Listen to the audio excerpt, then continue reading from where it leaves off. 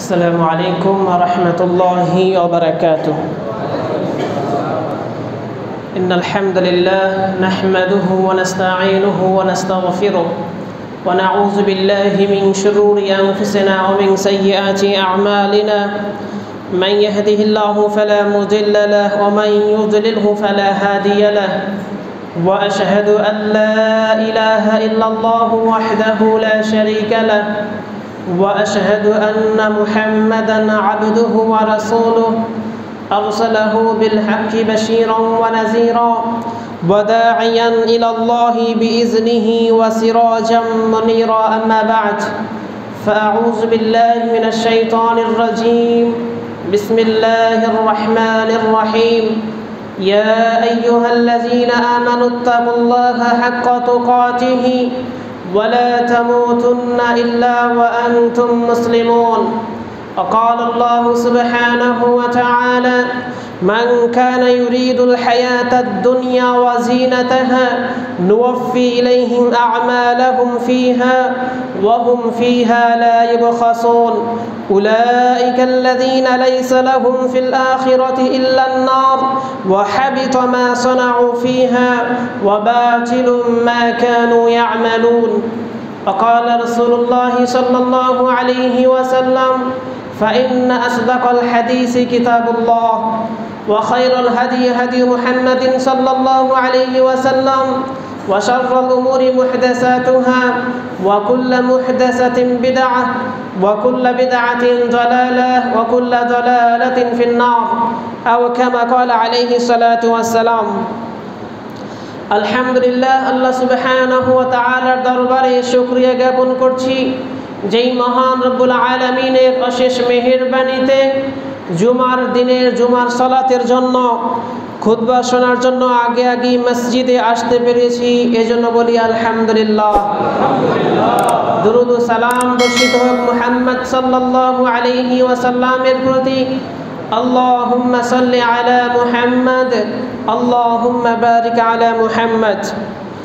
উপস্থিত মসজিদের মুসল্লান ইকরাম আল্লাহ সুবহানাহু ওয়া তাআলা সূরাতুল হুদের 15 এবং 16 নম্বর আয়াতে ইরশাদ করেন, মান কানা ইউরিদুল হায়াতাদ দুনিয়া যে ব্যক্তি দুনিয়া কামনা করে এবং দুনিয়ার শোভা, সৌন্দর্য, বিলাসিতা কামনা করে ফিহা আমি পরিপূর্ণ রূপে দুনিয়াতে তাদেরকে তা দিয়েই দেই। ওয়াহুম ফিহা লাইবখাসুন এবং এতে তাদের জন্য কোনোই কমতি করা হয় না। তারা যত চেষ্টা সাধনা করে, দুনিয়া যেভাবে চায়, আমি পরিপূর্ণরূপে তাদেরকে দুনিয়াতে দিয়ে দেই। কোনোই কমতি করি না।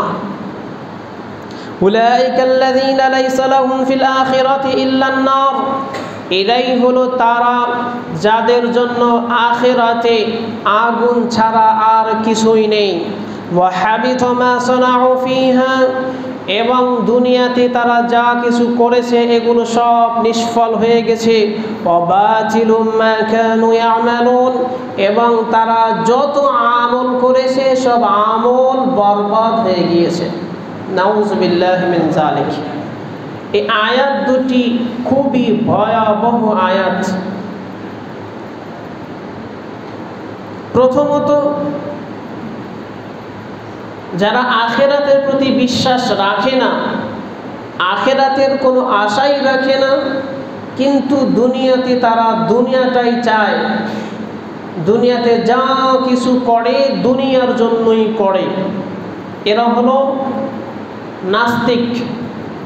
আল্লাহকে বিশ্বাস করে না আখেরাতে বিশ্বাস করে না? যা কিছু করে, সব দুনিয়ার জন্যই করে। এটি একটি শ্রেণি।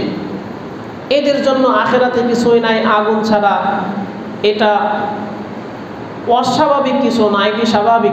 এটা আমরাও স্বীকার করি, মানি, মানতে কোনো কষ্টও হয় না। কিন্তু এর ভিতরে আরেক শ্রেণির লোক অন্তর্ভুক্ত। এটি নিয়ে আমাদের দুশ্চিন্তার বিষয়। তারা কেন?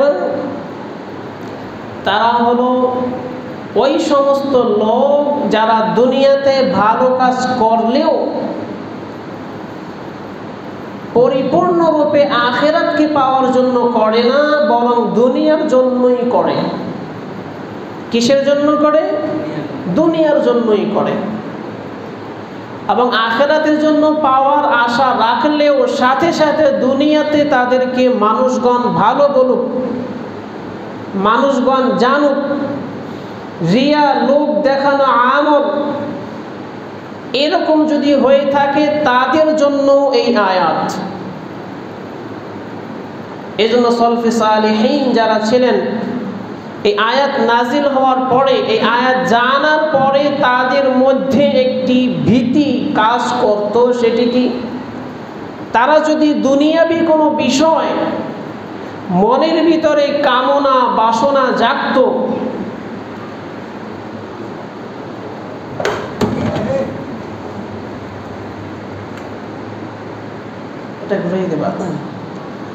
দুনিয়াবি কোনো বিষয়ে যদি তাদের মনে জাগত চাওয়ার জন্য, আর আল্লাহ সুবহানাহু তাআলার কাছে প্রার্থনাও করতেন, এইরকম যদি কোনো বিষয় হতো এবং সেই জিনিসটি পেয়েও যেতেন ভালো করে বোঝার চেষ্টা করেন। দুনিয়াবি কোনো বিষয় বা দুনিয়াবি কোনো বস্তু তার মন চাচ্ছে এবং আল্লাহর কাছে প্রার্থনাও করছেন। এরপরে পেয়েছেন, আল্লাহ তাআলা তাকে দিয়েছেন। এরপরে এই আয়াতের দিকে খেয়াল করে তাদের মনের মধ্যে ভয় জাগত যে হতে পারে।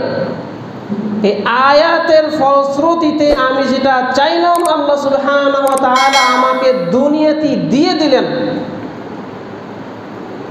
কাজী আমার জন্য আখেরাতে আর কিছুই অবশিষ্ট রইল না। হতে পারে এরকম এই জন্য তারা ভয়ের মধ্যে থাকতেন। আমাদের বিষয়টা কেমন?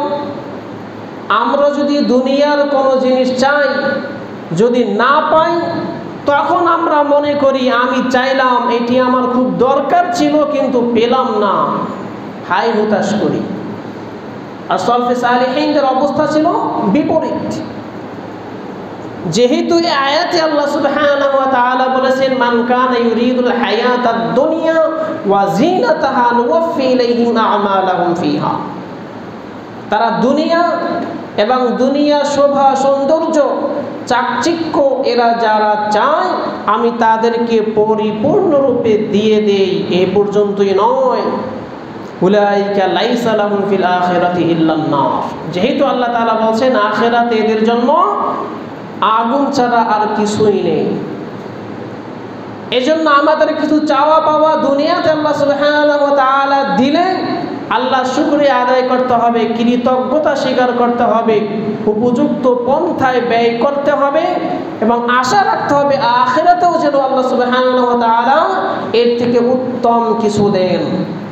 আর যখন না পাব, তখনও বিশ্বাস রাখতে হবে, আমি চেষ্টা করলাম।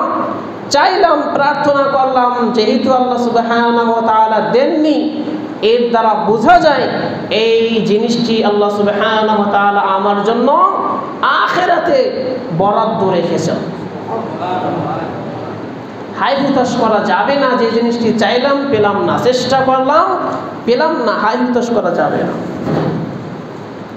আরেকটি বিষয় আমাদের সমাজে দেখি এমন অনেক লোক যারা আখেরাতে বিশ্বাসই করে না, বিশ্বাস করলেও সিরেকে লিপ্ত, বিভ্রান্তির মধ্যে লিপ্ত, কিন্তু দুনিয়ার জীবনে এরা খুব জাগ জমকপূর্ণ অবস্থায় চলে। অনেকেরই মনে প্রশ্ন, আমরা দুনিয়াতে আল্লাহর আবাদত করি, আমরা এত চেষ্টা করি পাই না, আর ওরা এত কিছু পায়। কারণ দুনিয়াতে যত বড় বেশি সম্পদের মালিক সব হলো অমুসলিম। এরা এত সম্পদের মালিক হন কেন? এর উত্তরও এই আয়াতের মধ্যে আল্লাহ তাআলা দিয়ে দিয়েছেন। অনেক লোক দেখবেন, এরা দুনিয়াতে মানুষের এত উপকার করে, এত মানুষের জন্য ব্যয় করে, সৃষ্টির সেবা করে, বড় বড় হসপিটাল করে এনজিও করে, কোটি কোটি টাকা এরা ব্যয় করে মানুষের কল্যাণে। কিন্তু এর দ্বারা এরা আখেরাতের কোনো কিছুই আশা রাখে না, আশা করে না। ফলশ্রুতিতে আল্লাহ তাআলা এদের কার্যকলাপের জন্য, প্রতিটি ভালো কাজের জন্য বিনিময় আল্লাহ তাআলা দুনিয়াতে দিয়ে দেন তাদেরকে। অনেক লোক দেখেছি, তাদের কথা এত মিষ্টি কথা, তাদের দান, ব্যয়, পরিশ্রম মানুষের উপকারে এত ব্যয় করে, কিন্তু এদের ইমান সঠিক নয়। এর জন্য দুনিয়াতে আপনি কোনো সৃষ্টির সেবায় এক টাকা দান করলে আল্লাহ সুবহান তাআলা বাড়িয়ে এদেরকে দুনিয়াতে দিয়ে দেন। দেবেনি আর যারা আখেরাতের প্রতি বিশ্বাস রাখে ইমান ঠিক থাকে, আল্লাহ তাআলা আখেরাতে এদেরকে বহু বহু বহু গুণ বাড়িয়ে দেবেন। এজন্য আমরা যা কিছু করব দুনিয়াতে, আখেরাতের উদ্দেশ্যেই করব। আল্লাহ সুবহানাহু ওয়া তাআলা আমাদেরকে বোঝার উপলব্ধি করা তৌফিক দান করুক। আমিন। আন আবি জাররিন আবি জার রাদিয়াল্লাহু তাআলা আনহু থেকে বর্ণিত, কলা খারাজতু তুলাইলাম মিন লায়ালি।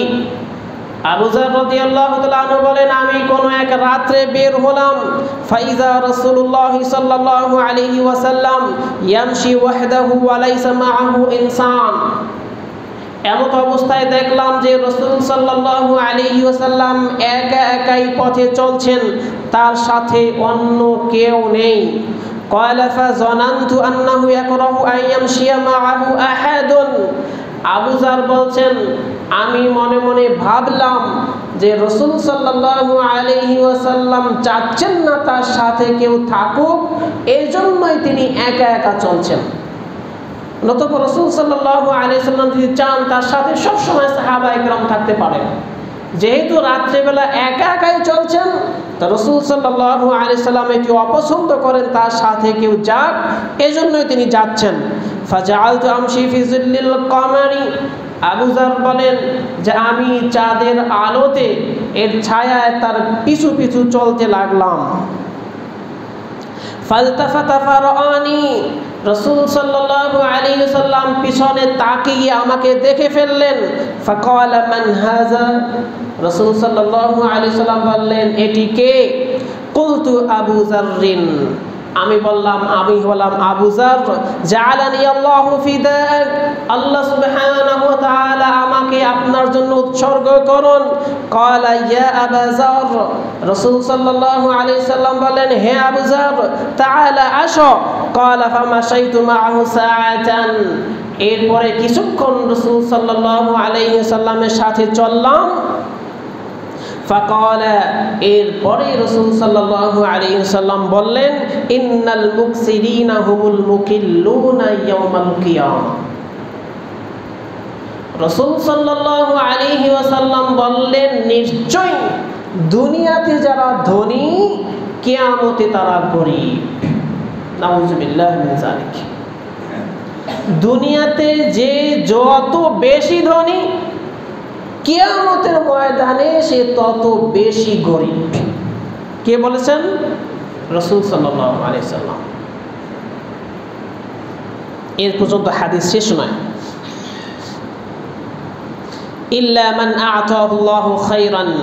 তবে তারা ছাড়া, সে ব্যক্তি ছাড়া যাকে আল্লাহ অর্থ সম্পদ দিয়েছেন এরপরে সে ভালো কাজে তার ডানে ব্যয় করে, বামে ব্যয় করে এবং সামনে ব্যয় করে, পিছনেও ব্যয় করে। সেই ব্যক্তি ধনবান ব্যক্তি ছাড়া যাকে আল্লাহ অর্থ সম্পদ দিয়েছে, সে সামনেও ব্যয় করে পিছনেও ব্যয় করে, ডানেও ব্যয় করে, বামেও ব্যয় করে। অর্থাৎ চতুর্দিক থেকে সে ভালো কাজে ব্যয় করে। এবং তার অর্থ সম্পদ দিয়ে সব সময় ভালো কাজে ব্যয় করে। তার একটা পয়সাও খারাপ কাজে ব্যয় হয় না। প্রতিটি পয়সা পাই টু পাই সে ব্যয় করে কল্যাণকর কাজে। সেই ব্যক্তি ছাড়া এই জন্য আমাদের মধ্যে যারা ধনবান, যারা ধনী, এদের চিন্তা করতে হবে যে রসুল সাল্লাহ আলী সাল্লাম বললেন যে দুনিয়াতে যে যত বেশি ধনী, কেয়ামতের ময়দানে সে তত বেশি গরিব। এটি খুব ভয়াবহ ব্যাপার। এর থেকে বাঁচতে হলে কি করতে হবে? ডানে, বামে, সামনে, পিছে সব সময় ভালো কাজে ব্যয় করতে হবে। এবং প্রতিটি পয়সা ব্যয় করতে হবে ভালো কাজে, খারাপ কাজে একটি পয়সাও ব্যয় করা যাবে না। ভালো কাজ কি? আপনি আপনার পরিবারে ব্যয় করবেন, অপচয় না করে। এটিও সবের নেয়ার যদি থাকে, হালাল পন্থায় যদি ব্যয় করেন, এটিও সদাকা আপনি আপনার স্ত্রীর মুখে খাবার তুলে দেবেন, এটিও সদাকা। এরপরে আপনি দিনের যতগুলো কাজ আছে, ব্যয় করবেন, সব ভালো কাজ। কিন্তু দেখতে হবে আপনার কোনো অর্থ যেন খারাপ পথে ব্যয় না হয়। আমরা আলোচনা করতেছিলাম আলকানুল ইমান ইমানের রকম কেয়ামত আখেরাতের প্রতি ইমানের সম্পর্কে আলোচনা করছিলাম, এর মধ্যেই আলোচনাটি এসেছে। যে কেয়ামতে বিচার কার্য এখনও শুরু হয়নি। কেয়ামতের ময়দানে আমরা প্রত্যেকেই দাঁড়িয়ে আছি। এমতো অবস্থায় যদি এরকম হয়, দুনিয়াতে আমি বিলাসবহুল জীবন যাপন করতাম, খুব আরাম আয়েসে থাকতাম। অনেক অর্থ সম্পদ ছিল, যেভাবে ইচ্ছা সেভাবেই ব্যয় করতে পারতাম। কোনো ধরনের কষ্ট আমাদেরকে স্পর্শ করতে পারতো না। কিন্তু কেয়ামতের ময়দানে আমি নিঃস্ব। কিছুই নেই। দুনিয়াতে আমরা দেখেছি যে হজে যারা যায়, যারা অর্থ সম্পদের মালিক এরা বেশি টাকা দিয়ে ভিআইপি প্যাকেজ নিয়ে থাকেন, কেননা এরা কষ্ট করে থাকতে অভ্যস্ত নয়। এই জন্য হজে গেলেও এরা ভালো অবস্থায় থাকে। একমাত্র আরাফার ময়দান ছাড়া প্রতিটি ক্ষেত্রে এদের জন্য ভিআইপি সুযোগ সুবিধা থাকে। এরা টাকা ব্যয় করে সেভাবে ব্যবস্থা করেন। এরা কষ্ট করতে পারেন না। পক্ষান্তরে যারা একটু গরিব দুনিয়াতে অর্থাৎ বাংলাদেশি কষ্ট করতে পারেন সেখানে গিয়েও কষ্ট করতে পারেন, বেশি কষ্ট হয় না। বিপরীত যদি হয়ে যায়, যেখানে বিলাসবহুল জীবনযাপন করেন, কিন্তু ওখানে গিয়ে থাকতেছেন নিম্নমানের হোটেলে অনেক দূরে, রৌদ্রের ভিতরে এসি নেই। তখন অবস্থাটা কেমন হয়? এটি চিন্তা করতে পারবেন না। ওখানে যারা বাংলাদেশে বসে সব সময় বাড়িতে, গাড়িতে, অফিসে এসি কিন্তু ওখানে গেলে তারা একটু রৌদ্র সহ্য করতে পারেন না। যদি কষ্ট হয়, সাথে সাথে টাকা পয়সা থাকে, ব্যয় করে আবার সেগুলোকে মেরামত করিয়ে নেন, ঠিক করিয়ে নেন যদি এরকম অবস্থা হয় যে এখন তার সেখানে কিছুই নেই, দুনিয়াতে অনেক, বাংলাদেশে তার অনেক ছিল, কিন্তু সেখানে গিয়ে কিছু নেই, তখন অবস্থাটা কত কষ্টকর। আপনার সাথে আর একজন ব্যক্তি কষ্টের মধ্যে আছে, তার জন্য কষ্টকর নয়, তিনি তাতে অভ্যস্ত। তার জন্য কষ্টকর নয়, আপনার জন্য যতটা কষ্টকর।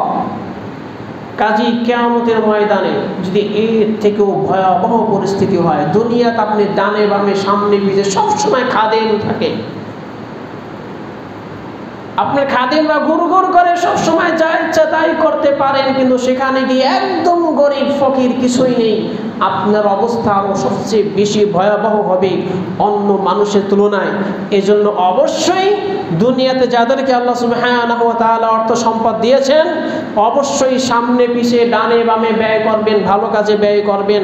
আল্লাহ ওয়া আমাদেরকে বুঝার তৌফিক দান করুক, আমিন।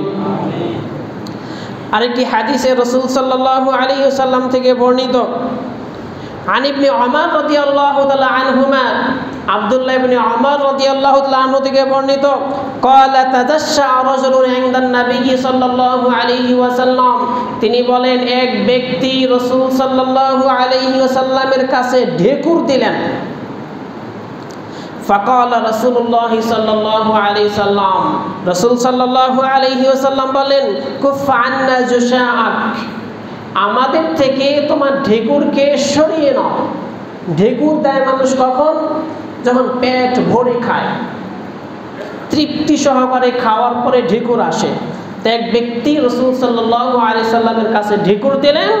রসুল সাল্লাহ আলি সাল্লাম খুব কুফান্না জুসা আখ আমাদের থেকে তোমার ঢেকুরকে সরিয়ে নাও ঢেকুরকে নিয়ন্ত্রণ করো فإن أكثرهم شبعا في الدنيا أطولهم جوعا يوم القيامة নিশ্চয়ই যারা দুনিয়াতে পরিতৃপ্ত হয়ে আহার করে পেট ভরে ভরে খায় কেয়ামতের ময়দানে লম্বা সময় ধরে এরা ক্ষুধার্ত থাকবে নাউজুবিল্লাহ মিন জালিক দুনিয়াতে পেটে ক্ষুদা লাগার আগেই যারা খায়, পেট ভরে ভরে খায় এবং ঢেকুর দেয়।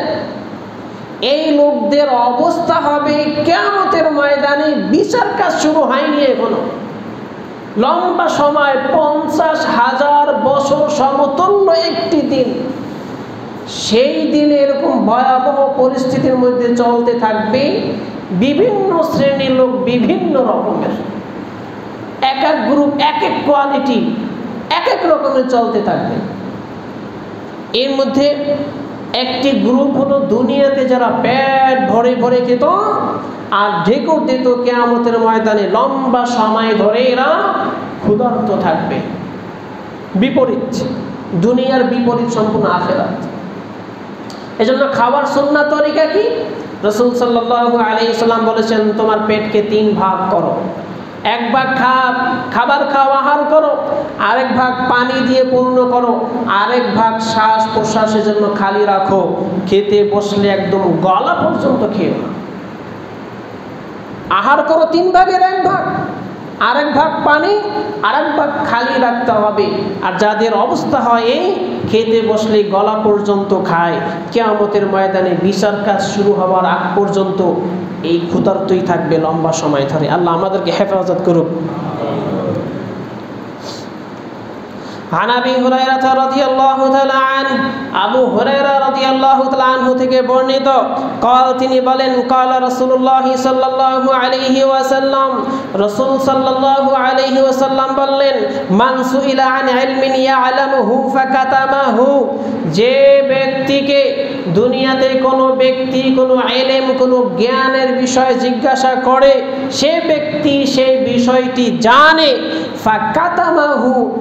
সে তার উত্তর দেয় না, সে গোপন করে। উলজিমা ইয়ামাল কিয়ামাতি বিলিজামিন মিন নার। কিয়ামতের ময়দানে তাকে আগুনের লাগাম পরানো হবে। এই জিনিসটি খেয়াল করুন। আপনি যে বিষয়ে জানেন, কোনো ব্যক্তি জানতে আসলো, আপনি গোপন করলেন, তাকে জানালেন না। আপনার অবস্থা হবে কেমতের ময়দানে আগুনের লাগাম পরিয়ে দেওয়া হবে। লাগাম। এই জন্য যে যতটুকু জ্ঞান জানি অবশ্যই অন্যের নিকট পৌঁছিয়ে দিতে হবে। রসুল সাল্লাহ আলহিউসাল্লাম বলেছেন, তুমি যদি একটা বিষয়ে জানো, একটা অক্ষরও জানো, এটি তুমি অন্যের নিকট পৌঁছে দাও। বাল্লিগু আননি ওয়ালাউ আয়া। তুমি জানো, এটি তুমি পৌঁছে দাও। এটি আমাদের জন্য প্রত্যেকের দায়িত্ব, প্রত্যেকের জন্য দায়িত্ব।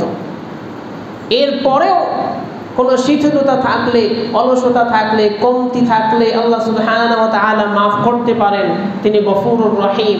কিন্তু আমার নিকট কেউ এসে প্রশ্ন করল, জানতে চাইল, যে বিষয়টা আমি জানি এর পরেও কোনো স্বার্থে বা কোনো ভয় আমি গোপন করলাম, সঠিক জিনিসটি বললাম না। কেয়ামতের ময়দানে বিচার কাজ শুরু হয়নি। বিচার কাজ শুরু হওয়ার আগেই আগুনে লাগাম পরিয়ে দেওয়া হবে। عن ابي هريره رضي الله عنه عن النبي صلى الله عليه وسلم আবু হুরায়রা রাদিয়াল্লাহু তাআলা আনহু থেকে বর্ণিত রাসূল সাল্লাল্লাহু আলাইহি ওয়াসাল্লাম থেকে তিনি বলেন قال لا ينظر الله عز وجل الى رجل جامع امراته في دبرها রসুল সাল্লাল্লাহু আলাইহি ওয়াসাল্লাম বলেন যে কিয়ামতের ময়দানে আল্লাহ সুবহানাহু ওয়া তাআলা সেই ব্যক্তির দিকে তাকাবেন না সেই ব্যক্তির দিকে রহমতের দৃষ্টিতে, দয়ার দৃষ্টিতে তাকাবেন না। যে ব্যক্তি দুনিয়াতে তার স্ত্রীর পিছনের রাস্তা ব্যবহার করে। কেয়ামতের ময়দানে বিচার কার্য শুরু হবে। সেখানে আহকামুল হাকিমিন, আল্লাহ সুবহানাহু ওয়া তাআলা সেই জায়গায় যদি আল্লাহ তাআলা কারও দিকে রহমতের দৃষ্টিতে না তাকান, তার অবস্থা কত ভয়াবহ হতে পারে চিন্তা করুন। এরকম কয়েক শ্রেণির লোক আছে, যেই লোকদের দিকে আল্লাহ তাআলা তাকাবেন না এবং তাদের সাথে কথাও বলবেন না, সেই পরিস্থিতিতে তাদের অবস্থা কিরূপ হতে পারে কল্পনা করুন। কি আপনার বিচার হবে? কি আমল নামা আসবে সেটি তো অনেক দূরের কথা। আল্লাহ হ্যাঁ তাহলে আপনার দিকে ফিরেও তাকাবেন না। তার মধ্যে অন্যতম সেই পুরুষ লোক যে ব্যক্তি তার স্ত্রীর পিছনের রাস্তা ব্যবহার করে। قال رسول الله صلى الله عليه وسلم رسول صلى الله عليه وسلم বলেন ثلاثه لا ينظر الله اليهم يوم القيامه তিন শ্রেণির লোকদের দিকে আল্লাহ সুবহানাহু ওয়া তাআলা তাকাবেন না।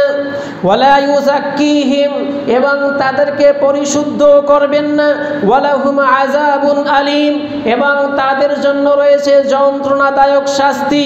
আল্লাযী লা ইউতি শাইআন ইল্লা মান্নাহু, এর মধ্যে প্রথম শ্রেণির লোক হলো সেই ব্যক্তি, যে ব্যক্তি অন্য কাউকে কিছু দিয়ে খোটা দেয়। আপনি দান করেছেন, আপনি হাদিয়া দিয়েছেন দিয়েছেন যেভাবেই হোক, কিন্তু কথায় কথায় সুযোগ পেলেই আপনি খোটা দিয়ে বসেন। সেটাকে স্মরণ করিয়ে দিচ্ছেন, তোমাকে আমি এটা দিয়েছিলাম না। সেই ব্যক্তির দিকে আল্লাহ তাআলা তাকাবেন না। তার সাথে কথাও বলবেন না, তাকে পরিশুদ্ধও করবেন না এবং তার জন্য যন্ত্রণাদায়ক শাস্তি বিষাক্ত দূরের কথা। বিচার কাজ শুরু হওয়ার আগেই আপনি কি জান্নাতি না জাহান্নামি? তার আগেই এই অবস্থা। কেয়ামতের ময়দানে চলতে থাকবে।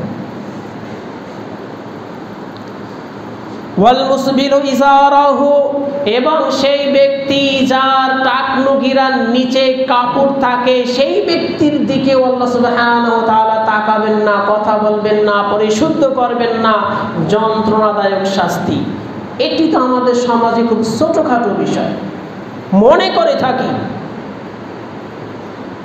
যে টাকনগিরার নিচে ঝুলিয়ে প্যান্ট না পরলে সে ব্যক্তি তো ভদ্রলোক নয়। আমাদের সমাজে মনে করে থাকে, শু পরেছে, টাই পরেছে, কোট পরেছে, প্যান্ট যদি থাকে টাকলু টাকলুগিরার উপরে, এ তো অভদ্র, মূর্খ, গেও। কিছুই বোঝে না, সভ্যতা বোঝে না, মনে করে থাকে সমাজে, কিন্তু তুমি সভ্যতা শিখেছো এহুদি খ্রিস্টানদের সভ্যতা, তুমি সভ্যতা শিখেছো, জাহান্নামীদের সভ্যতা, তুমি সভ্যতা কাকে বলে? জানোই না। আমি তো ভয় করি যন্ত্রণাদায়ক শাস্তিকে। আমি তো ভয় করি যে আল্লাহ ওয়া তাআলা আমার দিকে রহমতের দৃষ্টিতে তাকাবেন না। আমি তো ভয় করি আল্লাহ ওয়া তাআলা আমাকে পরিশুদ্ধ করবেন না।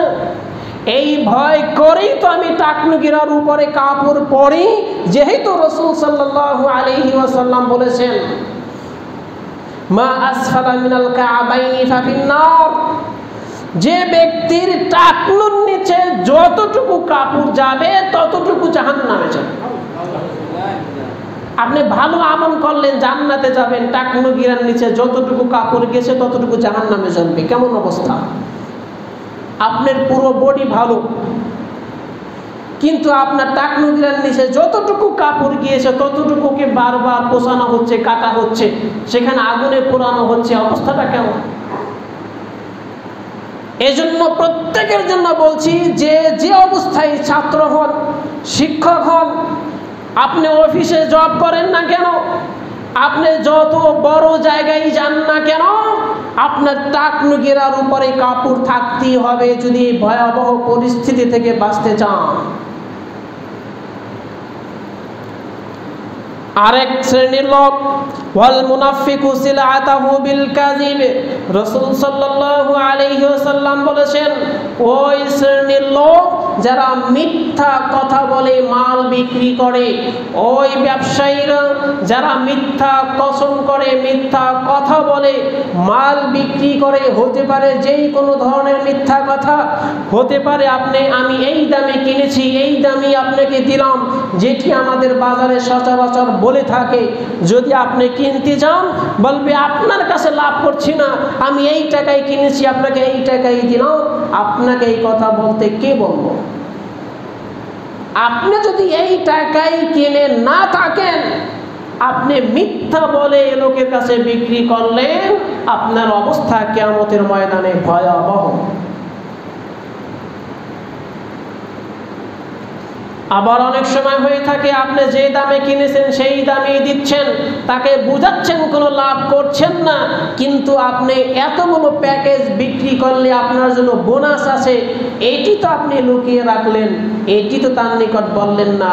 কাজে, আপনার কোনো ব্যবসা নাই, আপনি দিয়ে দিচ্ছেন এই কথাটা বললেন, মিথ্যা বললেন। কোনো ধরনের মিথ্যা আপনার বিক্রির সাথে থাকতে পারবে না। আপনি বলার দরকার কি? আপনি কত দিয়ে কিনেছেন? আপনি এত বিক্রি করবেন, আপনি কিনলে কিনেন, না কিনলে না কিনেন। এরপরে আবার কিছু মাল আছে, উপরে ভালো ভালো দিয়ে রাখে, নিচে খারাপ। বাসায় করে করে সাজিয়ে রাখে, ভালো জিনিস। লোকরা তো মনে করে এটি সবগুলোই মনে হয় এরকম। যখন নিতে যায় তখন দেখা যায় খারাপও তার সাথে ঢুকছে, যেটি সে দেখছে না। এটিও মিথ্যার অন্তর্ভুক্ত। এই জিনিসটিও করা যাবে না। রসুল সাল্লাহু আলী সাল্লাম বাজারে গেলেন, দেখলেন গমের এরকম কারি দেওয়া। রসুল সাল্লাহু আলী সাল্লাম ভিতরে হাত ঢুকালেন, ভিতর থেকে ভিজা ভিজা গম বেরিয়ে আসলো আর উপরে সব শুকনা। রসুল সাল্লাহু আলী বললেন, মান গসানা ফালাইসা মিন্না যে ব্যক্তি আমাদেরকে ধোকা দেয়, সে আমাদের অন্তর্ভুক্ত নয়, অর্থাৎ সে উম্মতে মুহাম্মাদি নয়, তিনি মুসলিম নয়। কোনো ধরনের ধোকাবাজি করা যাবে না। উপরে যা, ভিতরেও তা। বলবেন যা, হুবহু তাই। এইরকম যদি ব্যবসা করেন, আপনার জন্য বিশাল ফজিলাত কেয়ামতের ময়দানে শহীদদের সাথে থাকবেন, নাবিদের সাথে থাকবেন, সালেহিনদের সাথে থাকবেন। আর যদি ধোকাবাজি, মিথ্যা বলেন, কেয়ামতের ময়দানে বিচার কাজ শুরু হওয়ার আগেই আপনার অবস্থা এরকম যে রহমানুর রহিম, আল্লাহ সুবহানাহু ওয়া তাআলা আপনার কোনো আমলের দিকে তাকিয়ে নেক দৃষ্টিতে দেখবেন না, যেহেতু আপনি এই কাজটি বলেছিলেন আপনার অন্যান্য সব কাজ ভালো, কিন্তু যেহেতু ধোকা দিয়ে মাল বিক্রি করেছেন, মিথ্যা বলে মাল বিক্রি করেছেন, আল্লাহ সুবহানাহু ওয়া আপনার দিকে দয়া দৃষ্টিতে তাকাবেন না। আল্লাহ সুবহানাহু ওয়া আমাদেরকে বোঝার উপলব্ধি করা তৌফিক দান করুক, আমিন। ওয়া আখির দাওয়ানা আনিল হামদুলিল্লাহি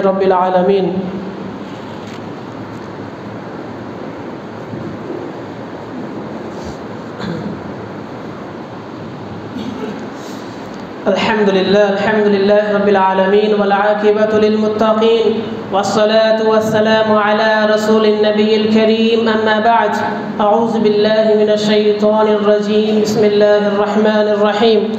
إن الله وملائكته يصلون على النبي. يا أيها الذين آمنوا صلوا عليه وسلموا تسليما. اللهم صل على محمد وعلى آل محمد كما صليت على إبراهيم وعلى آل إبراهيم إنك حميد مجيد. اللهم بارك على محمد وعلى آل محمد كما باركت على إبراهيم وعلى آل إبراهيم إنك حميد مجيد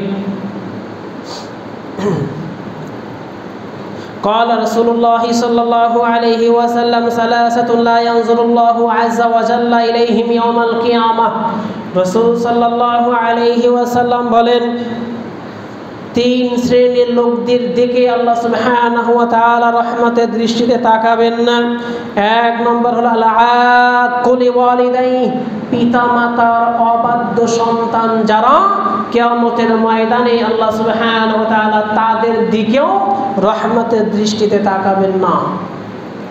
পিতামাতার অবাধ্য বলতে কি বোঝায়? প্রতিটি ভালো কাজের জন্য পিতামাতা তাদেরকে যে আদেশ করে, তা মানতে তারা বাধ্য।